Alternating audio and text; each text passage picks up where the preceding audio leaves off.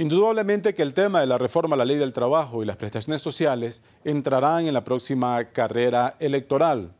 Y de hecho ni siquiera los candidatos o sus asesores se han pronunciado hasta ahora públicamente sobre qué piensan acerca de este espinoso tema.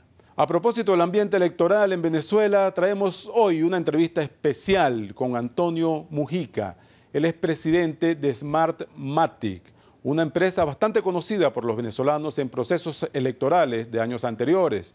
En medio de la polarización política que todavía vive el país, ha habido mucha polémica en torno al sistema electoral venezolano.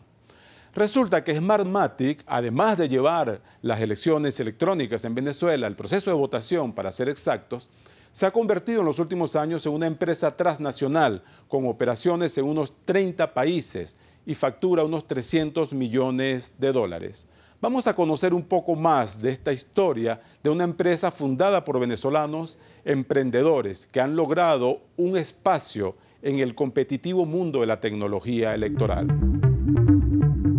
Smartmatic es una empresa de tecnología que fue fundada en el año 2000, eh, de capital enteramente privado. Yo soy uno de los fundadores. En el año 2000 hicimos la primera ronda de capitalización donde levantamos aproximadamente unos 2 millones de dólares entre inversionistas profesionales y amigos.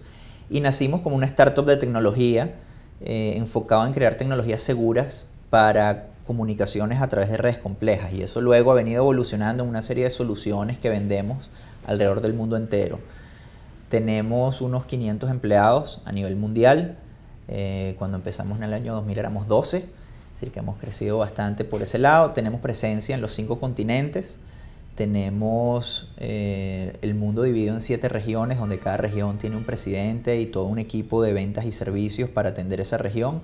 Tenemos tres, tres, tres grandes laboratorios de investigación y desarrollo, uno en Taiwán, uno en Panamá y uno en Caracas, que es donde se desarrolla toda la tecnología y tenemos oficinas de ventas y servicios alrededor de todo el mundo eh, y presencia bien sea a través de oficinas o de agentes en aproximadamente unos 30 países. Los países donde hemos hecho más ventas en el pasado son Estados Unidos, Venezuela, México, eh, un par de países en África, eh, Filipinas en Asia, el caso de, de, Brasil, el caso de casi todos los países de Latinoamérica donde ha habido digamos unos, unas ventas iniciales pero no son todavía digamos clientes con, con un nivel de facturación extremadamente alta. Sin embargo, en todos estos territorios estamos negociando hoy en día contratos y esperamos muy pronto que, que se conviertan en, en, grandes clientes.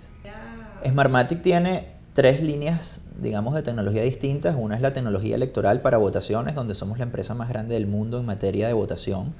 Hay aproximadamente unos cinco fabricantes de tecnología de votación a nivel mundial. Nosotros somos el número uno en facturación, somos el número uno en footprint, o sea, en, en la huella que tenemos mundialmente y somos número uno en ganancias, es decir, somos realmente, y, somos también los que tiene la línea de productos más variada y más amplia, ¿no?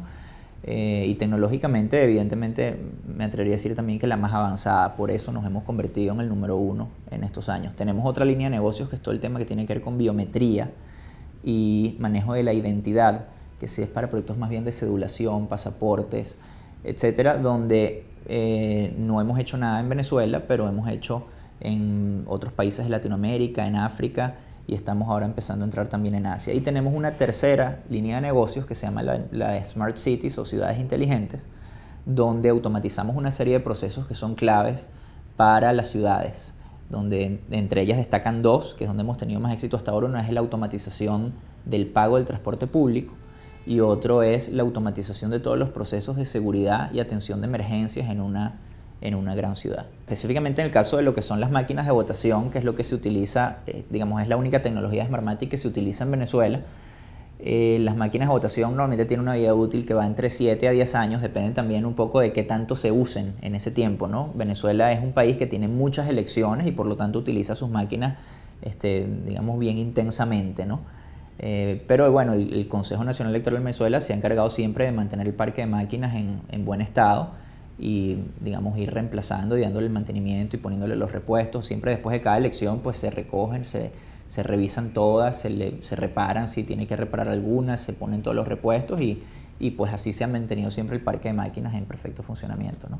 Hasta el último evento electoral estamos hablando aproximadamente de 40.000 máquinas de votación. Entiendo que se están discutiendo ahora la posibilidad de que sea un poquito más porque este, bueno, ha crecido el registro electoral y adicionalmente el Consejo desde que empezó con la automatización en el año 2004 hasta hoy ha estado siempre, eh, digamos, en un proceso de, ellos lo llaman democratizar el voto, que significa abrir más centros de votación y ponerlos más cerca de la gente, para que no haya personas que tengan que viajar por horas para poder ir a votar y cosas así. ¿no? Los actores que generan o no confianza son fundamentalmente los factores políticos, ¿no?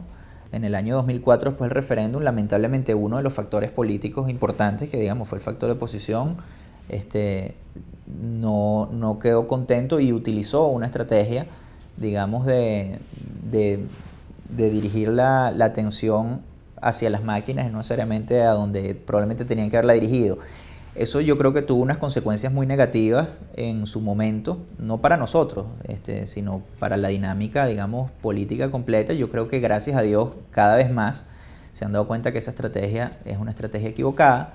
Cada vez más este, yo creo que la desinformación que hubo en un momento ha sido corregida y de hecho nosotros medimos constantemente, digamos, la credibilidad tanto de Smartmatic como del sistema electoral en Venezuela. Vale la pena decirlo, es el sistema eh, que nosotros conocemos más avanzado en cuanto a materia de seguridad y de justamente de blindaje. Nosotros los sistemas que hemos desplegado en otras partes del mundo, que no son pocos, de hecho hemos desplegado muchas más máquinas de votación fuera de Venezuela que en Venezuela, no tienen tantos mecanismos de seguridad como los que, como los que se implantaron en Venezuela. Bueno, simplemente porque no existe de repente el mismo nivel de paranoia o el mismo nivel de polarización y no lo ha requerido, ¿no? Por el contrario, en Venezuela el sistema es profundamente, eh, digamos, fuerte en materia de, seguridad. Y de hecho la garantía es absoluta. en realidad en todos los casos, pero en el caso de Venezuela más que en ninguno, la garantía es absoluta. O sea, no, no, no puede haber nunca un voto fuera de lugar.